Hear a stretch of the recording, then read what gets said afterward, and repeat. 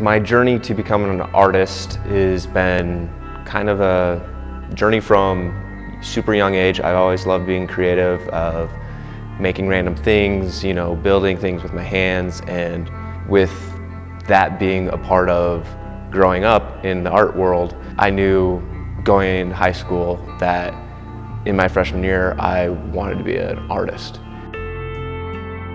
So with this piece that's behind me, it basically has been a rough year and this piece kind of came into light because I was given the theme of, uh, of prayer or Advent.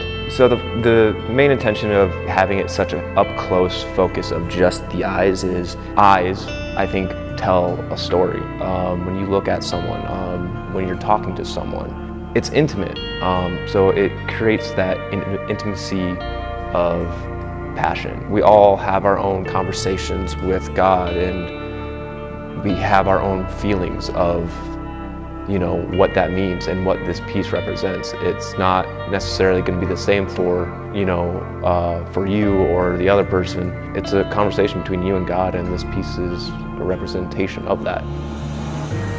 I guess like my thought with art for me is a healer. Um, it's a way for me to express my story or my emotions or my feelings, um, as well as what's going on or what's going on in the world and the life of you. Like we had elections, we had a pandemic this year.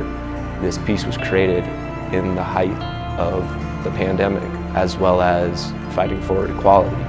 And this piece was a huge part of that to me. Anything and everything can be art.